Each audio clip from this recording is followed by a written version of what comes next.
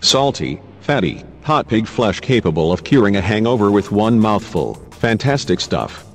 It can be a bit of a pain to cook it though, right? Well you dearly love to fry up a batch and present everyone in your household with a lovingly assembled bacon bap. On occasions the whole frying or grilling process can seem like too much effort.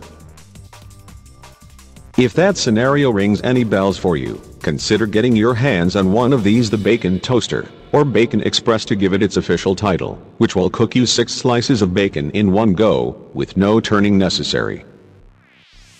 It's roughly the shape and size of a normal toaster, and cooks your bacon on a vertical non-stick cooking plate, draining the fat away as it goes. Cool touch handles make it easy to open the doors and view the cooking process, say the deadpan cooking instructions. When done cooking, the non-stick cooking plate and insulated door liners remove for easy cleanup. It's available from US firm Nostalgia Electrics manufacturer of the equally exciting sounding Fiesta series quesadilla maker and can be yours for around 55 pounds, including postage to the UK.